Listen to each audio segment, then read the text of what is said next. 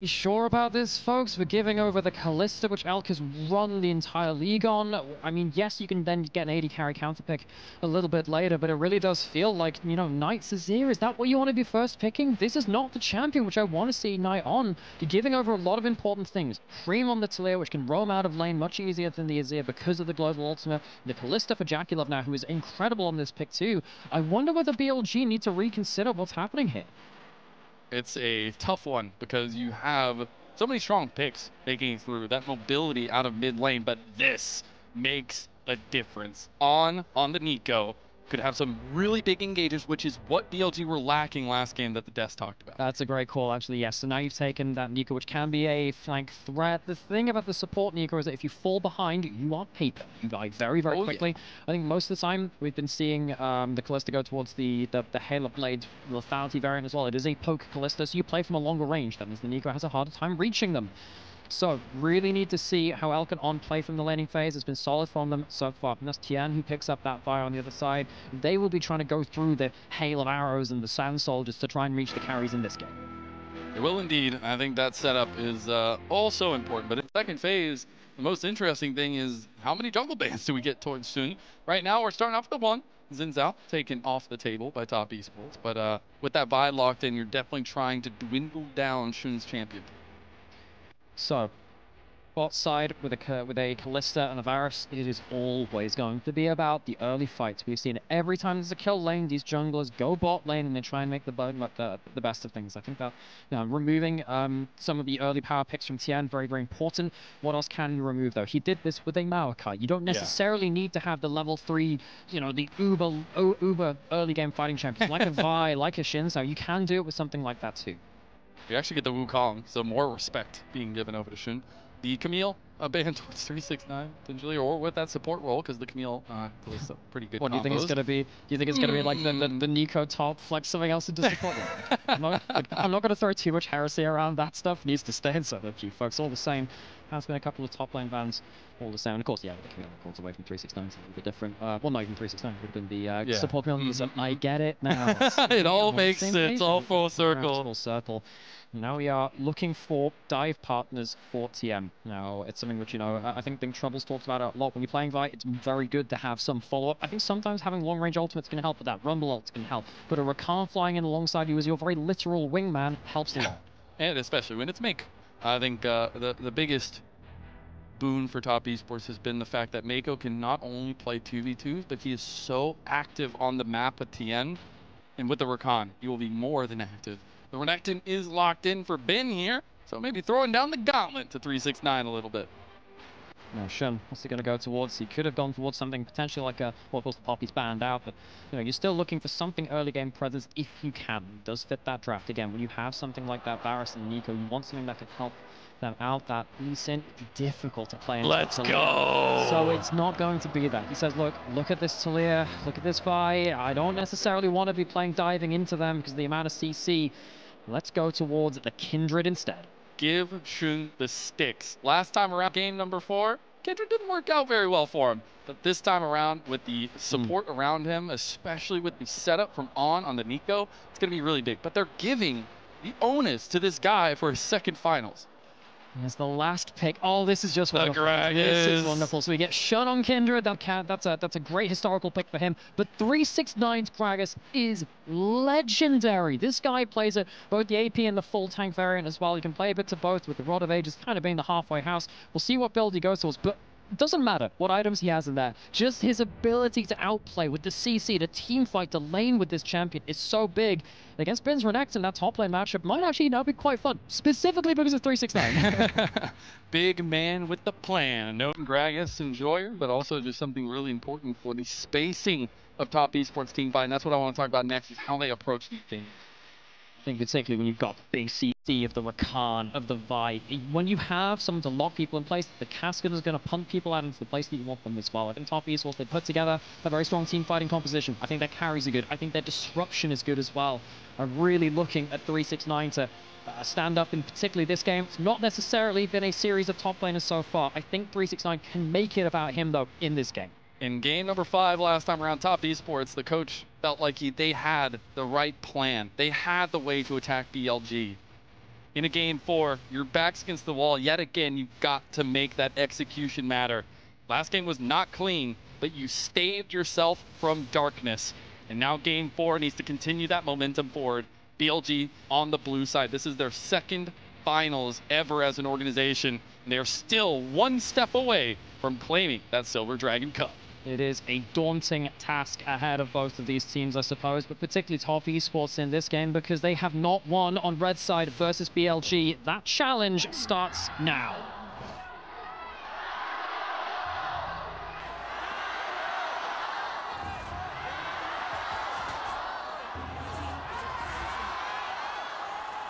Crowd still in it to win it and get the level ones yet again that have been commonplace so far for these early games. Well, I'm now wondering with Kalista making their way towards topside as a topside invade, are we going to get ourselves a lane swap? We That's what see, they said the choice was last time. We will see what's going to happen. But let's just see how far JackeyLove goes because what you can do is have the top and the jungle stick together. With this, it looks like there was a potential option there, but just look at where JackeyLove's going. That'll be the telling sign. BLG, they don't exactly have advanced notice on this. They don't have the, the, the all of the wards available to it. It looks like we're going towards... Where is JackeyLove going, man? He's just moving towards mid lane, keeping it in the question. It looks like it's going to be standard lanes. The question has been answered. None of those shenanigans this time. Not just yet. But I think a, a big thing we talked about last game was the undersung current of Knight for BLG so far, especially against Top Esports where he hasn't felt like the main character. Creme had main character energy last game. Oh, yeah. And I think for a guy who is in his first split on an organization that has been known the, the top tops uh, for top esports, but also with four extreme veterans, it was so nice to see him pick it up. Yeah, for sure. And, you know, now we've got, you know, Knight on the Azir again. This is not a champion he is famous for. He is famous for a lot of champions. this is one which a lot of people have criticized over time. His last game in the series was good, though. I'm not going to complain about that one. Feels like in this time, he's again going for the tank build. When he's been playing at this play, it has been about the tank Azir. I think that's important in this game. You have two other carries to go towards. You're going to be a bit more of an engaged threat and threatening that backline. Well, maybe someone like Xun or Elk can deal with that uh, extra damage that needs to come out. The bot lane's still going to be the name of the game, it feels like, between these two. Elk last game went like 10 and something, ridiculous yep. on the Varus. But for me, it's the fact that we do have uh, some bot side pathing right now for Tian, opposite side for Xun. Uh, that's why it's kind of important that Meiko's getting chunked out, because if Meiko is low HP, they can't go for big plays. Meiko hitting Qs though on Rakan means that HP gets to be regen back a little bit. You need to really keep an eye on that Rakan HP bar. If that's low, you can't really go for bot side plays. Want to flip things up towards the top though. Talked about 369 on mm. Gragas. Again, this guy is a legendary top lane. He can play tanks, he can play bruises, he can play carries, he can play everything right now. Um, but particularly this Gragas, which also has builds which are all of the yeah. above. You can actually do all of those builds there. This champion really stands out in his champion pool, and particularly against stuff like the immobile backline and also the Kindred ult. Very, yeah. very big in this draft. Very, very big, and I think the matchup itself very big. We've seen them have big influences on the backline in all these fights, but it's also two legendary top laners. Bin getting to go back to MSI, you know, where he yeah. had a pentakill on Camille, not too shabby. But it's seriously been a split about integrity and growth through that top lane. The difference we've seen in the, in the picks and the flexibility between tank and carry for 369, and the growth of that for Bin as well. Absolutely. I think, you know, Bin, he's a player with a lot of depth in his history. You know, he's, he's, a Worlds finalist. He's an MSI winner. Um, he's an MSI finalist from last year as well, with RNG, of course, not with BLG from last year. Even that, he reached the finals at that point. This guy is uh, this guy's got history to him. Xun a little less international history because, of course, it really was just last year where that started to come about. But particularly on this Kindred regionally, he is one of these Kindred players to be feared. It is somewhat, and not all of it, but he is somewhat of a regional specialty between players yeah. like Xun, um, like, of course, Milky Way as well. And he had like a 66% win rate, I think, before the last series that he had, yeah. where they took the loss against Top Esports. But it's definitely something where it changes the style of approach from BLG, where they did have a lot of facilitation from Xun for majority of this game, now he's on the carry. Yeah, he is. It does mean it's harder to look for dives. You have three very squishy champions. All you're realistically doing here is poking. Xun walks down, and you force them under turret. You're not really doing that level 3 dive threat, which BLG has made an absolute lethal weapon against so many other teams. Um, another quick thing I want to talk about on bot side as well, just a quick last hit on this, is not the poke Varus for once. It's definitely going to be the on-hit mm -hmm. lethal tempo, which means that JackeyLove will be more about the extended damage in fight. He needs to play from a closer range because it's auto-attack rather than that big Q pierce range instead. But interested now to see whether JackeyLove can pilot this in the positioning manner you need to. That's been one of the biggest questions about Kalista. We've seen so much back and forth with the lethality and the sustained damage carries. Uh, just uh, using some vision control with his clone there. Gotta get a decent amount of damage on a Meiko. You gotta watch those piercing arrows on the backside, but now we also have the objectives coming up. And with this priority bot side, BLG should be able to take first dragon. They can do if they want. Um, remember, there have been a couple of times they've had priority bot lane. They've chose to kind of forgo that first dragon instead. You can see that Tian, he's on vision. You know that he's on the bot side of the map, and that's going to take away the Gromp, which is, of course, uh, okay, so that's fine. I was wondering. Oh! oh! Creme trying to strut his stuff against Knight there. I like to see it. Yeah, it's sort of like, the golden left hand's quick, man. He is quick. very quick. And also, he has, like, just held that shoulder. I was like, I've got a shield from my E. I'm going to be fine. so he ends up winning that mind game. That's important, though, actually, because it is. Um, that's a flash blown before level 6 from Knight. Now Knight can end up losing that shuffle in there. Creme, no, he had a fantastic main character game last game. Now, without a flash coming up against Xun and Knight with their level 6s, particularly for that Azir coming up, big moment for him to now play safe.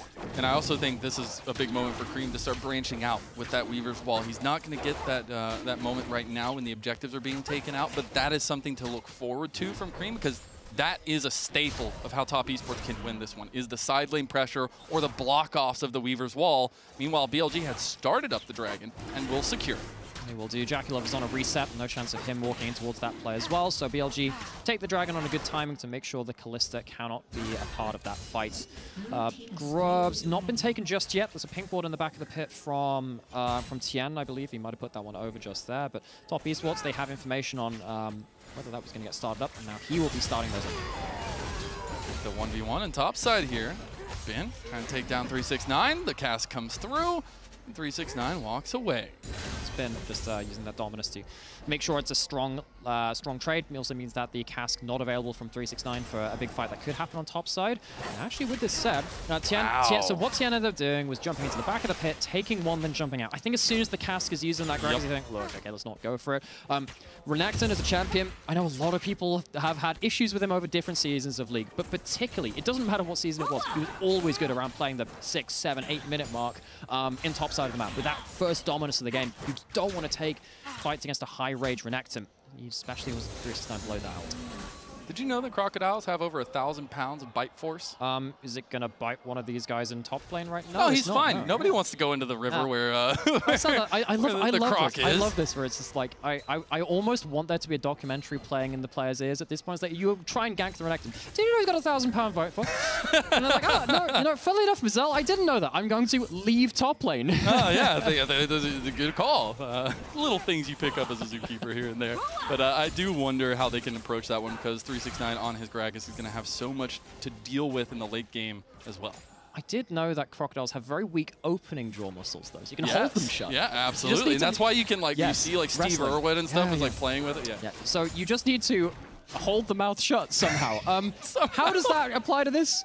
We will figure that out. Um, stay gonna have some like leather straps or something for top esports to tie that mouth down, man. Bin is gonna have some fun. Uh, I do wonder though, now that we're getting close to those first items, we actually had the stop off for the boots for Jackie yep. Love to get some of that mobility on the hop, skips, and jumps. But now Xun looking for a ah. mark here on the no, Tian. So Tian's just uses smite onto the blue buff, so he can't smite away the Gromp, and that's an all coming oh, in from awesome. They're gonna flash. They know he has nothing left, and they want to mark so badly for Xun! He's gonna flash. He's gonna get it, and that's the first one and first blood for BLG. Oh no, JackeyLove gonna flash. He does get the piercing arrow to the back, but BLG strike first on bot lane. He does, and now if you get the Gromp here as well, I'm pretty sure that Xun is just about to get his four marks. They're gonna use gonna the Neeko clone to cancel no the back. Oh, the piercing arrow doesn't hit, but the hail of arrows does, and Elk gets one. It's the bot side jungle bot lane combination again. Two kills in the bot side. You get so much gold onto some very important carries. And JackeyLove on the Kalista cannot live under bot lane turret. This could be such a big moment. And how are we nine minutes in and BLG have a 2,000 gold lead? So much of it is about Xun using this Kindred early game as an absolute wrecking ball. As soon as this champion was released, the favorite thing for Kindred to do is walk into enemy junglers and just fight them. Flashes beyond the grand entrance, blocks out that Vi Q, so it means he can't escape. Fantastic use of that summoner spell from Xun to win out on that fight. God, I'm gonna cry. They haven't even won yet, man. Like, this guy is popping off against Tian, man. Like, how do you do this? The growth from this guy from IG to BLG has been insanity. And, you know, top esports on the other side, you know, so many big players on this roster, which now going to have to fight against another deficit from BLG. They cannot afford to lose focus this time. There aren't any Ash Arrows this time for Meiko to throw at them, which is a big thing. Actually, yeah, was huge big. at that point. So that's a flash away from Knight. Here comes On. Oh no, he's completely locked down. Now the Fate's Call coming in as well from JackeyLove. They have the Lamb's Respite there, buying so much sustained time, though Knight will end up falling to Creme. Jackie Love has stepped forward now. On and Xun there to back them off. It is a kill given over, though. It is, and Knight uh, flashes out of a short-range combo. Does get that Lamb's Respite, but it's not enough to give him complete ability to turn that play around on out onto the map. Here comes oh, That Tangle Barb was massive, but he still goes down in the end, and it's, of course, JackeyLove who picks up the kill. Well, if you're not winning in bot lane, move the bot lane somewhere else. That's exactly what happens from top esports. They take JackeyLove and Meiko, and they make some huge plays in the mid lane. What is this, this at the cost of, though? You're losing huge amounts of gold towards this bot side. You have a teleport coming in to continue okay. the cross map coming through. They got to keep the tempo going. They got to keep the momentum going. They do not want to be dragged down in a 3-1 series as Creme gets the Chains of Corruption over from Elk. Is not followed up on. They did deny him for a little bit, but he did end up getting that turret in the side lane. While this is happening, so this is an extended cross map for cross map, right? Toppies as they go mid, they try and respond to bot lane because Elk has stood that. Let's be careful here now. Creme does have flash. He might have been forced to blow it again.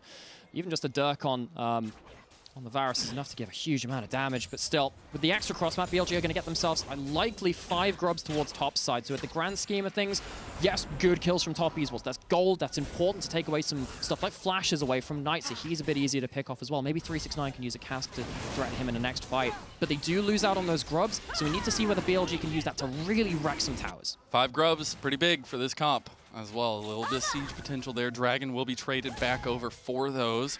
Elk has hit his first item spike on that opportunity. We also got the Kraken Slayer for Xun. Do so. We're starting to get towards those big damage moments. And that means that when you misstep, things are going to go out of hand very, very quickly. One person I really need to highlight in regards to that, On, has had great early games. His mid game and last game, though, was off. That was off. That, was, on, that was the off, Yeah, on, it's, off. it's the okay. switch, folks. It's the switch. And I really want to see it on this Neeko. The big problem is this champion is very, very squishy if you fall behind. He's up here trying to make a play towards top side. 369, though, has the Sunfire Cape. He's going for the full tank. Xun's on top side.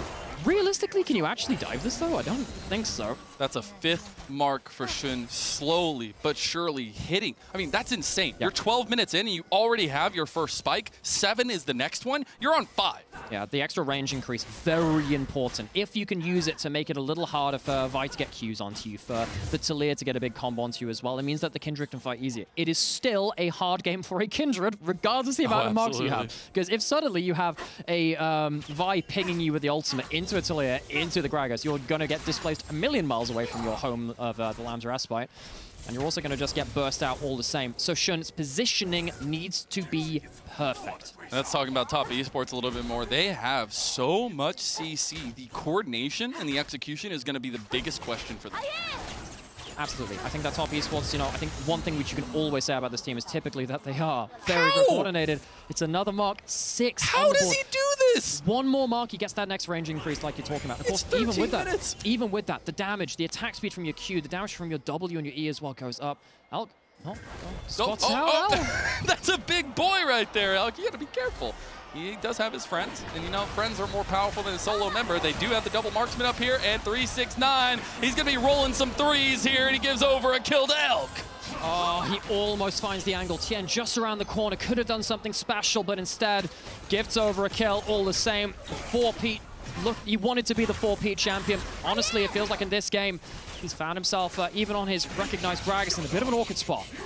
And the biggest, the starkest difference from the last time we saw Xun take the Kindred into Tian, he didn't even have four marks by like 20-something yeah. minutes. This is a resurgence in a style on the blue side that BLG are comfortable with. They have moved their pressure to top side, and they're trying to take another outer turret. Again, at least getting that teleport out. You have the five grubs, makes it so threatening to go on these towers. And again, if there is one part of the game which you need to be afraid of against BLG, it's when they get all of those outer turrets. Knight is going to get on He's got on he here. On. He is not off right now. He is on. A double Tangle Barb there, as well as the Pop Blossom. But they do save Knight, and he'll have his uh, Flash coming up soon. I mean, this is the problem with, you know, support Neeko. You don't exactly have the one-shot potential of a mid lane one um, towards your first item, but still, just that. This is a big thing which On does. Whenever his mid lane carry a court, he just throws himself at the enemy team yeah, and says, okay, let's go for it. I like to call it a full contact League of Legends. as soon as one person is caught, everyone just flies in to make something happen.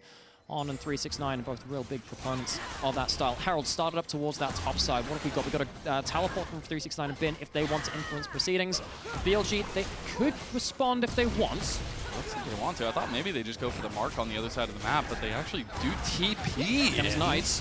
Nice going to join. The Rift Herald already gone, picked up by Meiko. TP now in from top esports. Bin on the top side here. They will just get a bunch of summoner spells burned by both sides. Ah, uh, it's a safari around the around the Herald. You sat there like, if you look out to your right, you'll see the Herald being killed. they don't do anything there. They don't exactly go towards the steel, but still, Sadly for them, two teleports down just after they've blown creams. I thought that they could use that that um, that global advantage better, but sadly can't quite do that. Top Esports, once again, doing a really good job around the objectives. That's how they beat BLG last game, realistically. They just ended up having much better setup around the objectives when things got a little bit more crazy.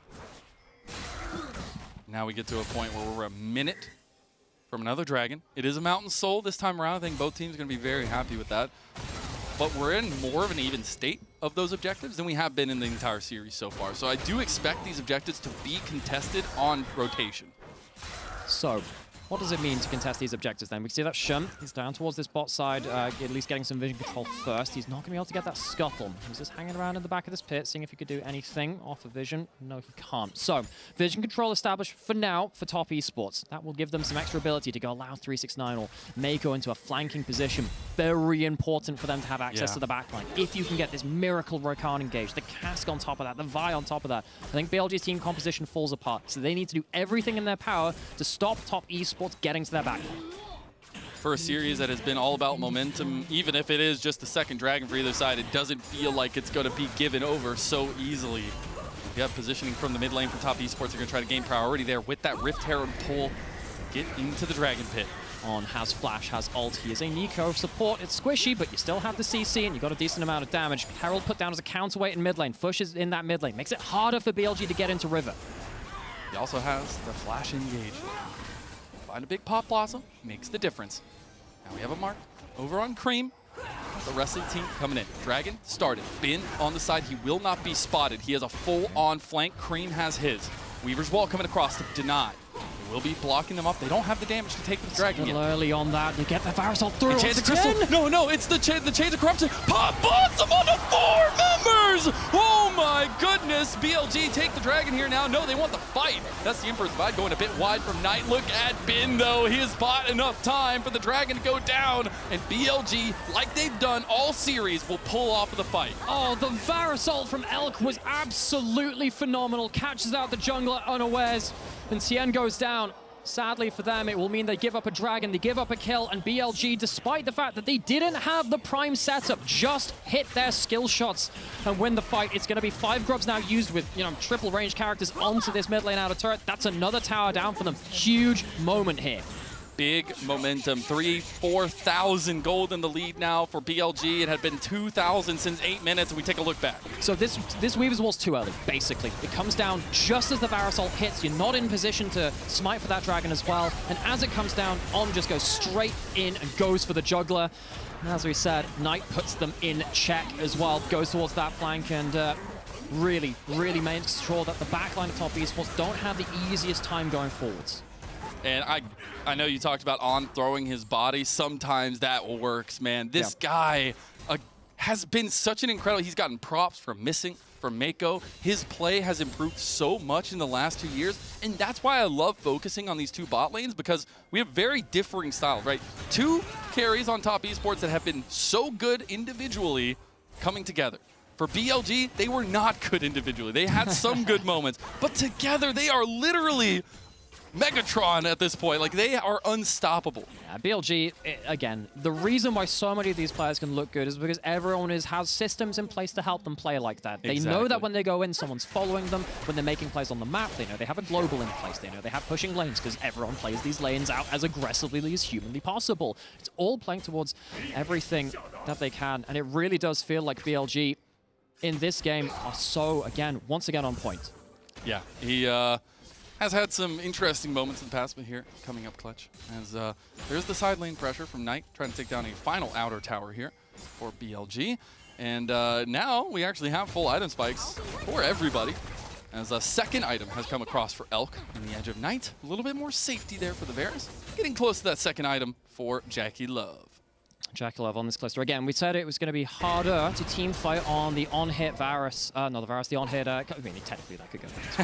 This is the Temple. Here comes oh, Elk. Shield They're under turret here. There's the body slam. And they're going to take down Elk. The double TP in for BLG. The Pop Blossom of three members now, though. And what fight did you get? What did it cost you? And as Thanos says, everything as BLG will be rebuffed by the cask of 369. Bin has made the difference. Oh, top esports dive too deep onto Elk. They go way too far and BLG mop up. There's no smite, there's no Kalista and Baron's on the table. We've seen BLG on this position before as uh, they were the ones to stop top esports in a similar one. BLG now forcing the hand of Top Esports. Here they come to answer. Meiko goes in. Nice double grand entrance. Body slam on top of it all. But they have the damage right onto Meiko and right on to Creme. Look at the flash from Xun. He wants to be the difference maker. And he's found the Lamb's Respite to save the day. He doesn't go down, but honestly, Top Esports stopping the Baron after losing jungle and AD carry. That's a huge win in my eyes. They don't end up getting any kills back, but the Baron being stopped after what should have been a game-changing fight is absolutely huge. We'll need to see what happens on the resets after this. This is what happens here in terms of what happens with the Varus. He hits himself an ult. What happens here in terms of the all-in, though? It's a half-elf Tian here. Does he end up getting his spell shield blown? It's the Pierce. JackeyLove ends wow. up using the Pierce towards Zip. It's a that good skill shot Really important, because if you don't blow that spell shield, this play is much harder to make out. On, however, on the other side of it, just punishes the overengage. The initial pick, it's good, but they just go too far. And I think Bin's body and all of this is so difficult to deal with. He literally is just walking at JackeyLove and at Creme and it becomes so much harder to navigate. Now, we did get that Liandry's completed for Creme. We are going to have a little bit of that damage potential, even if top esports are down 4,000 gold. When you've got, you know, Renekton, Dash Champion, Kindred, Dash Champion, you got the Azir as well. Uh, there are, I know even the Protobelt technically from yeah. as well as a dash. Um, this Taliyah, even if they don't hit the combo, can just deny a lot of angles for these champions to get themselves really clean team fights, which means that BLG, they need to choose their angles well. If they do, they might just walk away with a uh, third win. They might just walk away with their first championship as an organization. We have to go back to that. Folks, this is for first seed at MSI. It is for an LPL championship. So many of these players, so many legendary players in the LPL will only ever see one title. BLG might just be, as an organization, and for a lot of these players, find their first. Three out of the five members would be their first ever LPL title in Xun, Elk, and On. On the other side, Creme in his first split with Top Esports. Meiko in his first split with Top Esports. And 369 back home. They want to get this to five. They want to make good on Tian's promise of putting down Xun.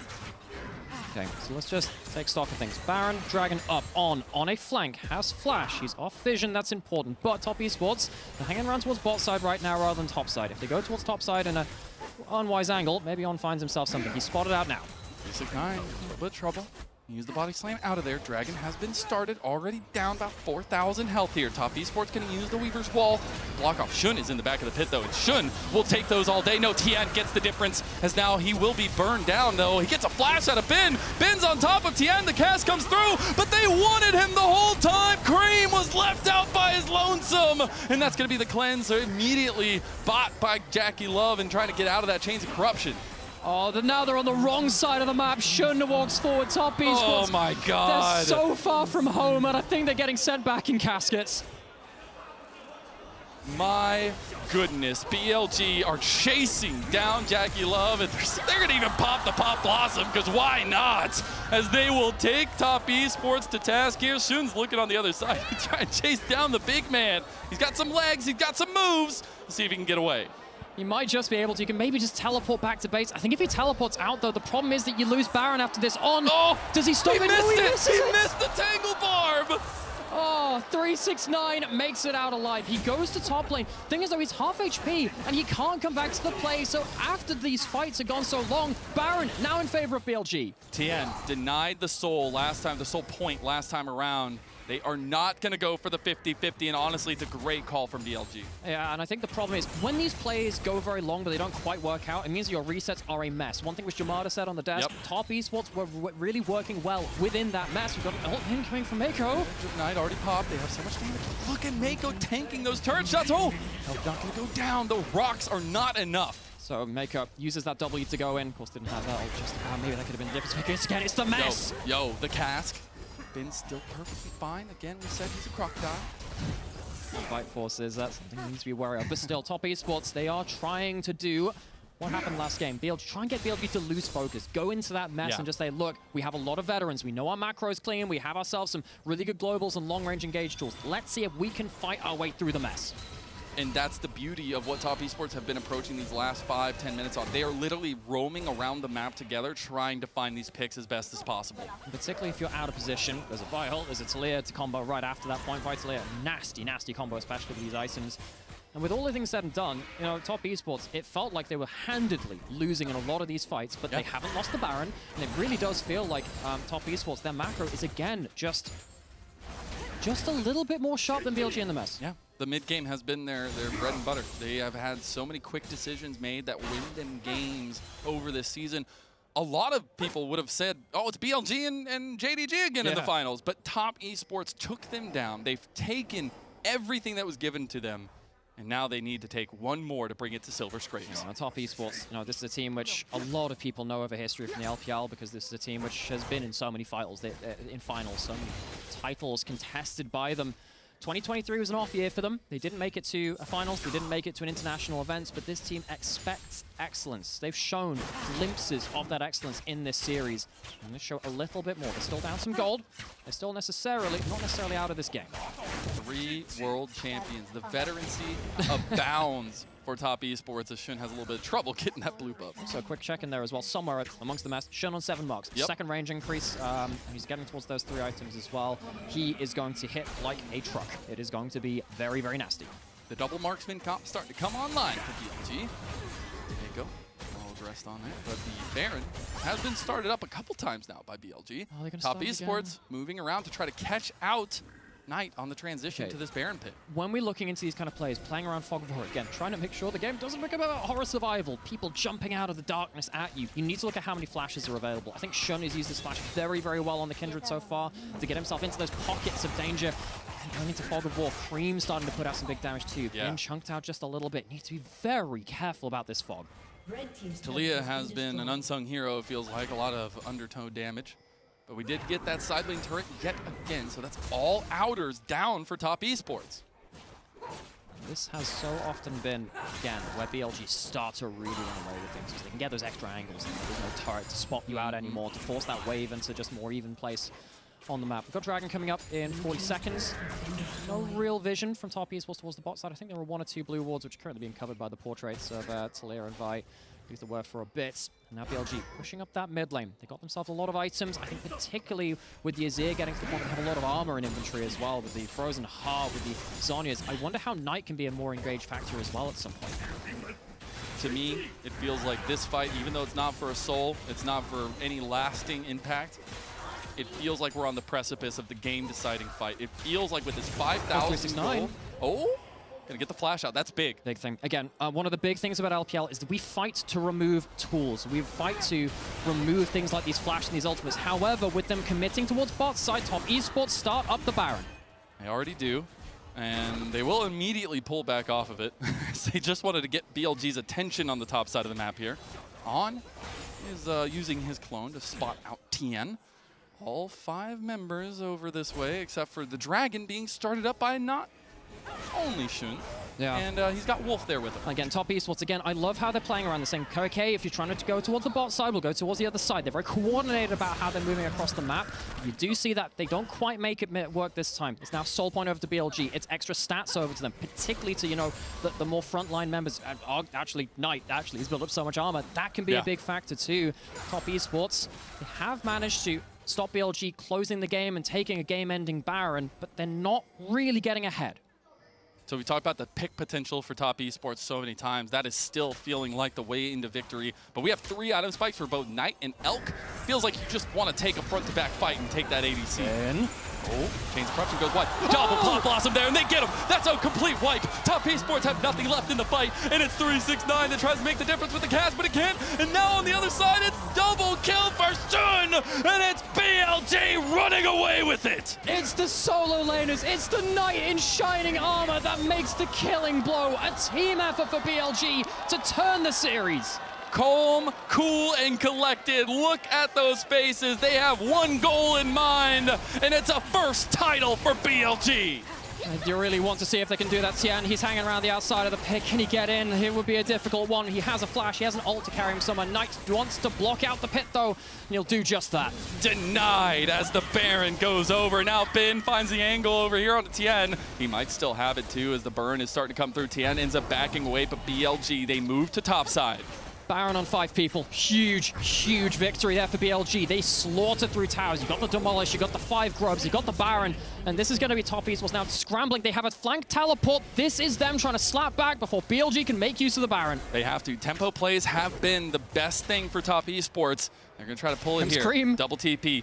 Got Meiko over on this top side. Got a weird angle from Knight. He's going to have to shifting sands his way out. He flashes immediately and does it. He is out of there, and it's Knight that makes Top Esports cry. I mean, you know, initially, oh, we got the fight continuing on. Literally on to yeah. on. Yeah, you know, eventually, this is a bit of a trivia piece for you out there. Knight initially wanted the name without the K at the start of it. He wants to be Knight, the darkness of it. Feels like he slipped away into the darkness there. He just put a random letter in front of his name. turned out it turned into something else and something truly legendary as well. This guy has been such a warrior, such a bodyguard for this team. He yeah. has not been the main character in this series, but that play there shows exactly why, again, he can make those game-winning moments. Bin as well. Huge shout out to him. Every fight this Renekton has oh, been crucial. man! And Knight makes the difference again shoves them right into the maw of BLG, and our spring MVP is that for a reason. And now with, again, five Baron buffs available, we've got Flash available for Elk if he wants to go for a Flash Varus play as well. Maybe he can get involved in things as well. BLG are looking to push the dagger in. BLG lost in their only other finals. It was last spring against JDG 3-1. There is no longer any nightmare for them in front of them. They've taken down JDG for the first time in two years. They have taken top esports down a peg, and now they're on the cusp. Top esports, they are scrambling. Can they wave clear in time? How far is this going to be pushed by BLG? It's two inhibitors. They're sticking around. They have the five grubs. They are looking to go a little They further. want it. They want it so bad, Nymeara. They want to finish the game right now. One Nexus turret goes down. The BLG, all they need are a couple more structures, and they are champions.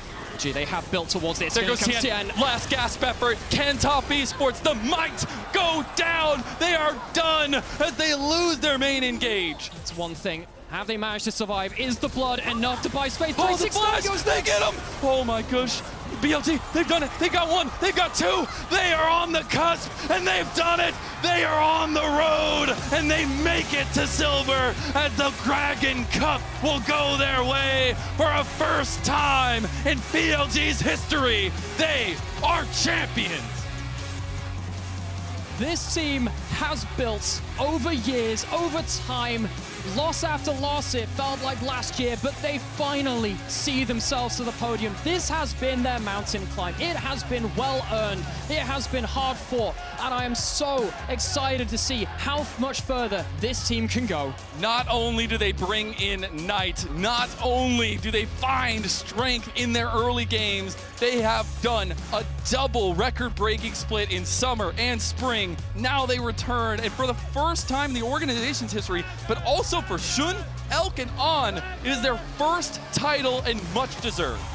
Knight completes himself in his own way as well. A three-peat of LPL. Very rare to find these occurrences. Very rare to find a team like this in BLG. And Bilibili Gaming, for the first time, will lift the Silver Dragon Cup. Chengdu, beware!